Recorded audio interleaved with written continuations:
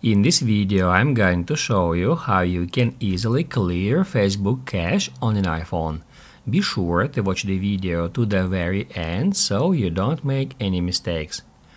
Let's get started guys and uh, first off we need to open up Facebook app.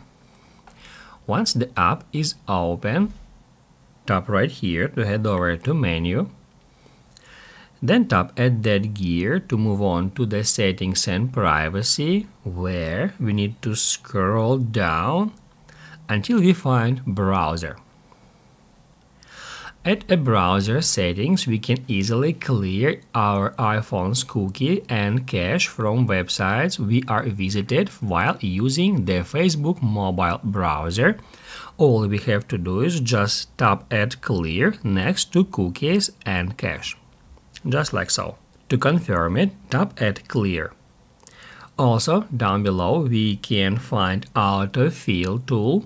This tool makes it easier for us to use Facebook by helping us to fill in some forms automatically However, in order to do this, it saves some of our data such as name, phone number, maybe your address, and that's where we can configure which data will be saved. We can head over to contact info and uh, that's where we can check if any our contact information is saved here. Currently in my case it says that not information saved.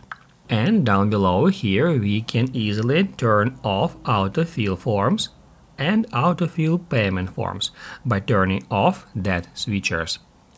Once you're done with that, you can close Facebook for now and then we need to head over to settings.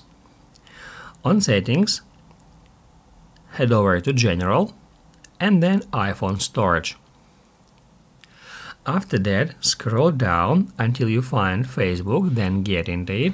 And if the Facebook app is a bit glitchy and you want to clear the cache that can help solve these problems, I recommend you to tap at Offload App first, then confirm it. After a couple of seconds, tap Add reinstall app and uh, what that will do, that will remove Facebook uh, system, uh, system data from your iPhone and then it will re-download it and install the app from the scratch that will delete all the cache, all the cookies, all the other temporarily information from the from from your device actually. Using this method you can also solve your other problems with the application.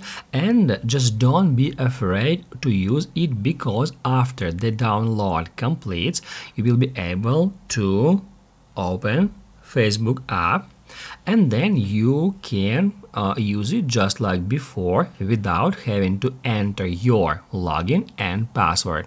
That's how you can basically clear cache on Facebook app on an iPhone and if this video was helpful for you, don't forget to hit the like button.